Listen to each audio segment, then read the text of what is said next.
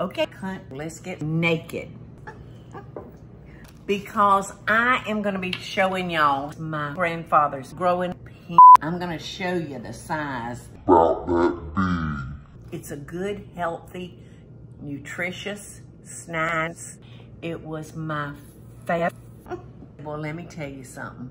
Uh, the first 10 years of my life, kids, I lived in my grandmother and grandfather's refrigerator, which was my whole world for years.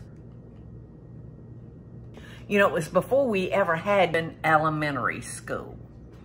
And every Friday, they would pull some boys and girls into the kitchen and beat them with a rolling pin and crush them, toss them on the stove, and they served them a dessert.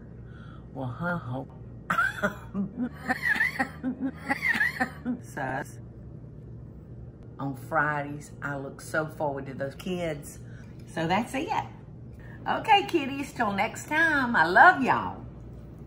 So please go fuck yourself.